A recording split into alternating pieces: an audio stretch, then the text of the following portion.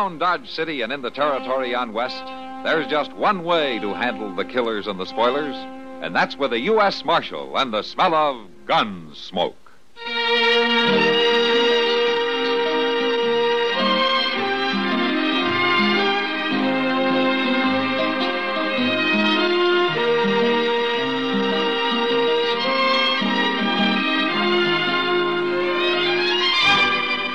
Gunsmoke, starring William Conrad.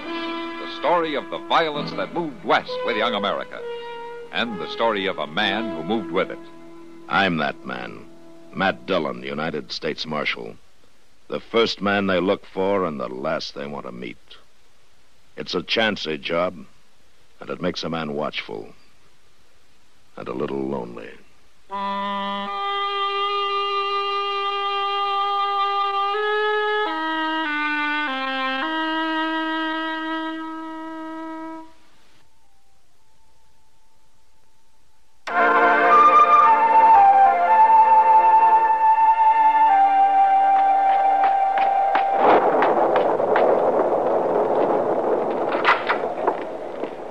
Oh, Kitty, it's you. Yeah, come in, come in. Yeah, it's me, such as I am. It's a little early for dinner, isn't it? Besides, you didn't have to come up here after me. Oh, this is a professional call, Doc. Take a look at my eye, will you? Your eye? Well, sure I will, Kitty. Come over here at the light. Ah, sit down. Now, which one is bothering you? You see, Doc? Yeah, I see. There's something in it, I Now, think. let's sit still. Oh, yes, yes. Now, let's see. You think you can get it, Doc? Ah, there, there it is. See it on this piece of cotton? Huh? Well, you can hardly see it. It felt like a whole scuttle of coal. Well, it doesn't take much to make your eye feel that way. I'll give you something to wash it out with for a day or two. Okay, Doc. You heard from Matt? Huh? Not a word. Seems to me he expected to be back by now. Well, he did. There's a trial starting up at Hays City today or tomorrow, I think. Matt's supposed to testify. Oh, yes. Yes, you're right. I remember that now. Well, maybe he and Chester are making a pleasure trip out of it, huh? maybe they found some decent weather and aren't hurrying to get back. Well, it wouldn't take much to improve on the weather we've got here, I'll say that. Ah, here you are. Thanks, Doc. Yes, sir. I'll bet you that what they're doing today. They're taking it nice and easy and enjoying some good weather away from Dodge.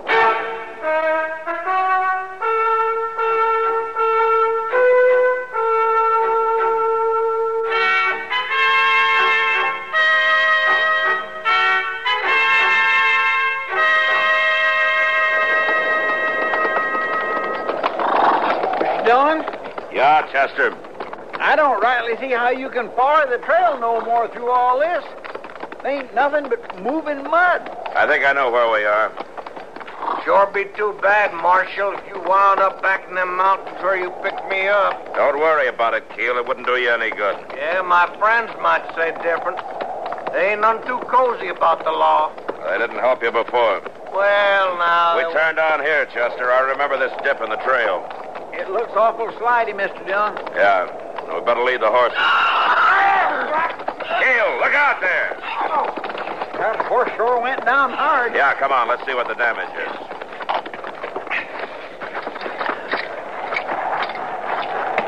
You hurt, Keel? No, I don't think so. All right, get up then. Stand mighty easy. How about the horse, Chester? Ain't nothing broke that I can see. See if he'll stand. Come on, come on. All right, walk him a little.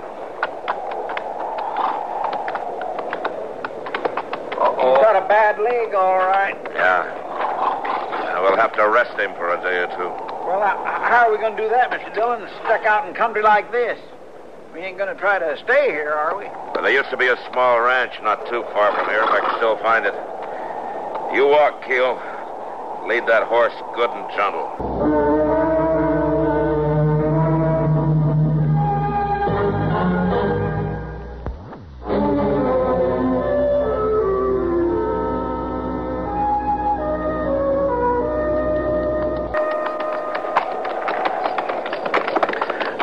Over this way. We'll head there. You must have a bump of direction on you like a homing pigeon, Mr. Dillon. Yeah, pigeon with blind luck. You just watch where you're leading that horse, Keel. Mr. Dillon don't need no smart talk from you. You! You out there! Oh, Mr. Dillon? Up on the porch? A woman. Yeah, Chester, I see her. What do you want? I'll be up to present myself, ma'am, as soon as I can see to the horses. You're welcome to find shelter in the barn, but don't come near the house. Well, that ain't very friendly like in all this rain. You take Keel and the horses over to the barn, Chester. I'll talk to her. Yes, sir. Uh, try to talk her out of some coffee.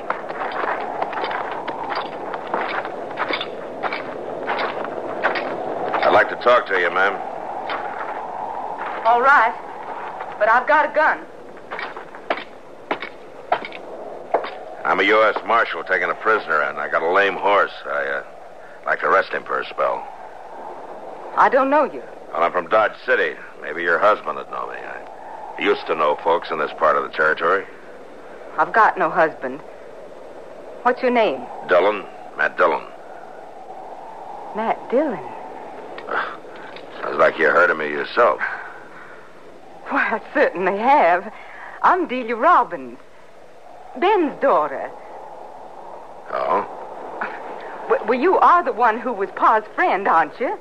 Uh, yeah. Yeah, I was his friend. Well, Pa sure did think a lot of you. Well, we did a lot of riding together. Well, well, come on in, come on in. It's no wonder you hunted out this place in the storm. You've probably been here lots of times, haven't you? Yeah, a long time ago. I uh, wasn't sure anybody'd be here. You, you knew my my father'd been killed. Uh, yeah, I knew. Well, I, I was with an aunt in Wichita. I come out here as soon as she'd let me. I, I, I kind of feel I belong here. Yeah, I guess you do. Well, I'll put some coffee on the stove, and, and you tell the others to come in. Thanks, Delia. No thanks necessary. Pa would want it this way. You know how he was about a friend. Yeah. Yeah, I know.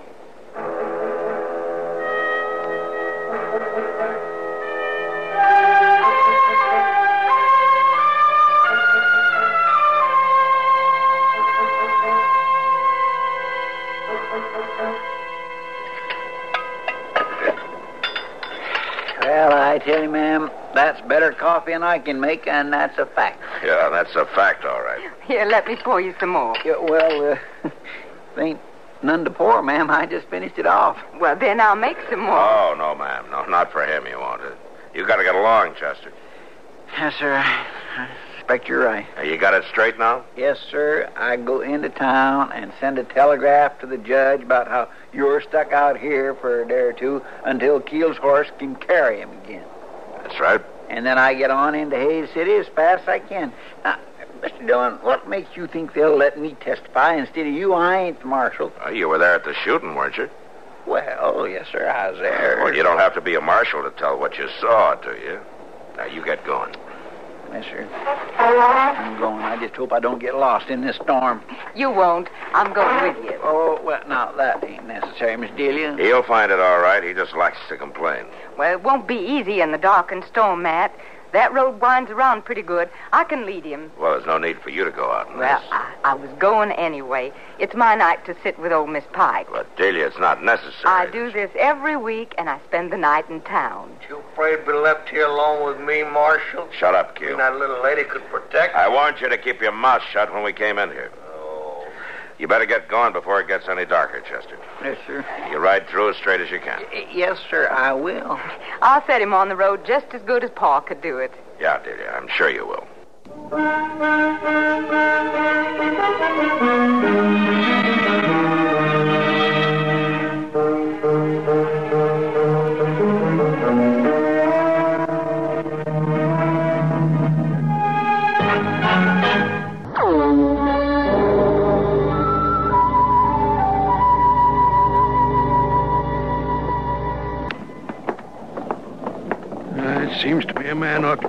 supper in peace. Oh, never mind, Mr. Weems. They'll keep it hot for you. It ain't a very long telegraph. Coming in, pulling a man away from the table that way, it ain't decent. Then, then you shouldn't be the only man in town who knows how to send a telegram. Ain't nothing so important it couldn't have waited. By rights, I shouldn't be opening up till tomorrow morning anyway. Oh, cheer up, Mr. Weems. It won't take long. Tramping around in the mud and the rain. Look here, mister, you got a job to do, ain't you? Nobody ain't never complained about the way I do my job. Well, I'm about to. Now you stop your fussing, both of you. I had the place all locked up for the night. Well, come in, come in now that you're here. I got to get the line open up. Sure is funny, the way things happen. Running into Pa's friend after all these years. You mean to tell me this one was a friend of your pa's? No, not exactly. No, no, not this one. Matt Dillon. He's out at the place. Dillon? That's right, Mr. Weems. He rode in this afternoon. Didn't know I was there, of course. I'll bet he didn't. What do you mean by that? He wouldn't have come if he'd knowed. Well, that doesn't make any sense, Mr. Weems. Well, I've never done anything to scare him away that I know of. It ain't seemly that you joke about it. I'm not joking, Mr. Weems. I, I, I was just glad to see him, that's all. Good friend of Pa's like he was. Such a good friend that he killed him. What? What did you say? Oh, well, now, I'm sorry if you didn't know it, Delia, but I still stick to what I say. I'd be mighty doggone sure what I was saying. Mr. Dillon ain't a man to kill a friend. Well, the whole town knows about it. Tell me what you mean.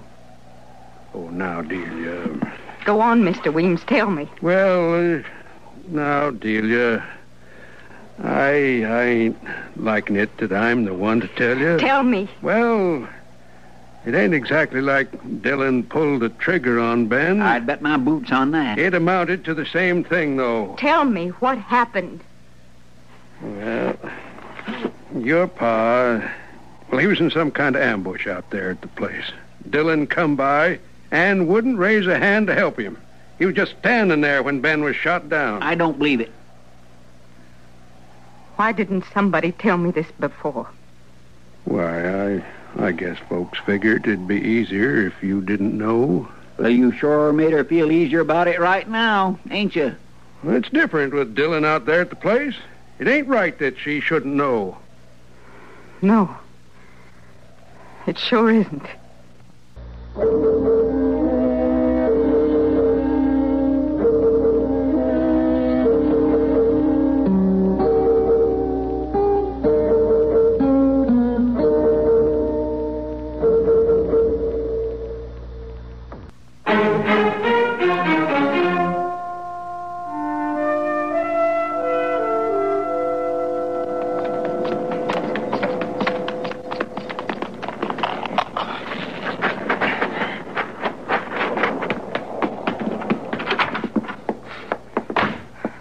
Want you to get out of here. What? Well, Delia, I, I thought you weren't coming back till morning. I don't want you here. I don't want you here till morning, What are you talking about? pretending to be my father's friend. Oh, so that's it. Delia, I was your father's friend. So you killed him, is that it? I didn't kill him. You might as well have. You let him die. What did they tell you? They told me that you stood by and saw him shot down. I tried to help him, did you? How? By turning your back? I told him to give himself up, but he wouldn't. Delia, I don't blame the folks in town for keeping it from him. But I expect you had to find out someday. Find out what? It was the law who killed your father, Delia. Not me. The law. Yeah. Bennett pulled a holdup. Wanted to make his stake quicker than the two of us were doing it, riding from job to job. He always said he wanted things nice for you. Well, anyway, he held up a bank. And you turned him in. No, I didn't turn him in. You rode with the law to get him there. I didn't do that either. I was here with him right in this room when the posse came. And you didn't help him. I tried to get him to give himself up. But you wouldn't fight with him. I'm sorry, Delia. I think this country needs the law. I always did. How. How did it happen? He tried to break out, and they shot him. I. I buried him over the big tree. You expecting me to thank you for that? No, I don't expect you to thank me for anything. But I never considered your father less of a friend. Well, I consider you less of one. I want you to go. Now. I'm sorry you feel that. I don't care how sorry you feel. I want you to get out. Now, you listen to me, Delia. I don't like it much staying where I'm not wanted, but here's where I'm going to stay until that horse out there can travel. You can't. I can and I will. I'll just hang on to this gun until we leave. Why, you did. I don't like it any better than you do. But that's the way it's going to be. Serve you right if the storm spooked the horses right out of the barn. Well, I'm going to have a look at him. You just rest easy, till you? We'll be out of here just as soon as we can travel. And that's a promise.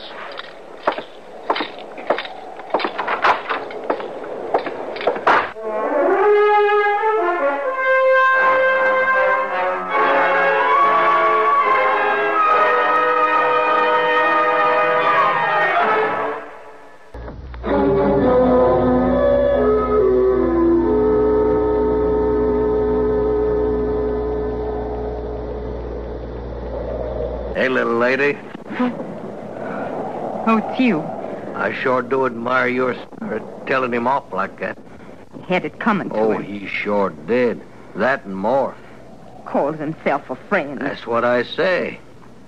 That's a terrible thing. I know how you could get even. All the way. Man my father trusted. What'd you say? Well, you, you want to get even, don't you? Of course I do. Well, I know how you could do it, that's all. How's that? You just cut me loose. That's all. Just as simple as that. That's all. Well, I don't know about that. Oh, sure you do, little lady. Sure you do. Cut me loose, and I'll take care of him for you. Just like your pa would have done. You're his prisoner. Well, he he let your pa be a prisoner too. Now ain't that right? It's just a way to get things even for your pa. Well, maybe you're right. Well, sure I am. Now cut me loose. Yeah. But he's got all the guns. Well, it ain't gonna matter none. Uh, Look, all I got to do is I got to just be by that door when he comes in. I could smash him with a chair. And we'll see who's got the gun. Come on now, come on. We ain't got all the time in the world. He ain't gonna be out there all night, you know. You sure you can do I'm sure I can. Come on, cut this rope now.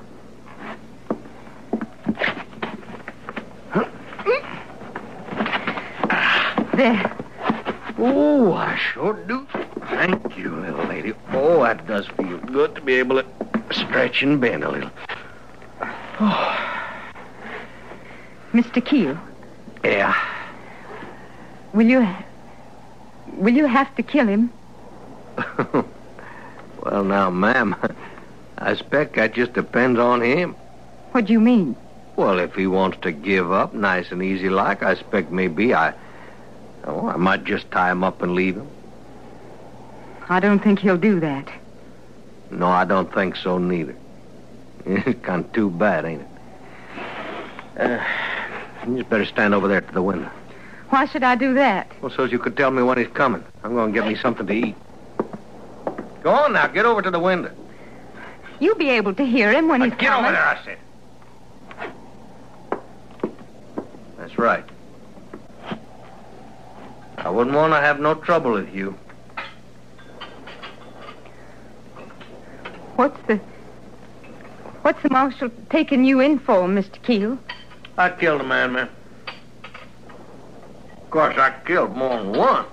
This is the first time they caught me. You want some of this bread? No thanks. All right. I'm kind of good at it if I do say it myself. Good at what? Killing. Listen. Little lady, you ain't doing your job. You should have told me he was coming. Now, Well, I you just be quiet. Be quiet while I get over here and hoist this chair. Quiet now. Just quiet.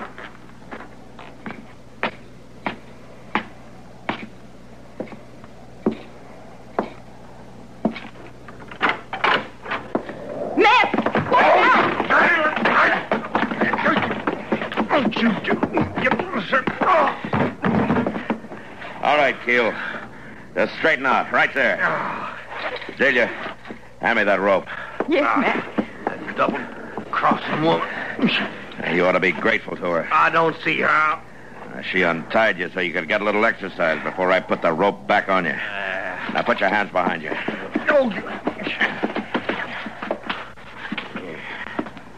There. Matt. Matt, Yeah, I'm I'm sorry. yeah. I guess I I think this country needs the law too. Yeah, Delia. And the law doesn't come easy. No matter what side you're on.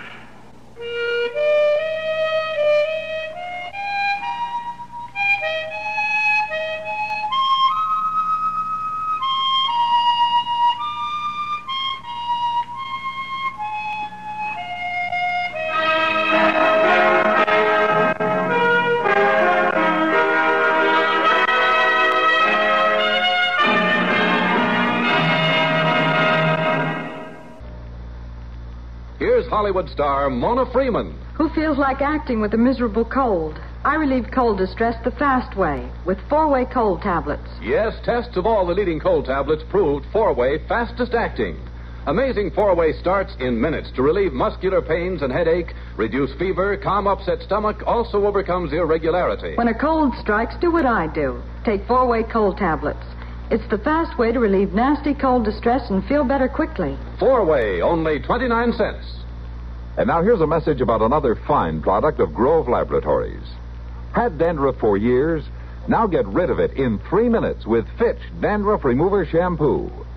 Three minutes with Fitch regularly is guaranteed to keep unsightly dandruff away forever. Apply Fitch before wetting hair. Rub in one minute. Add water, lather one minute. Then rinse one minute. Every trace of dandruff goes down the drain. Three minutes with Fitch, embarrassing dandruff's gone. Fitch can also leave hair up to 35% brighter. Get Fitch Dandruff Remover Shampoo today.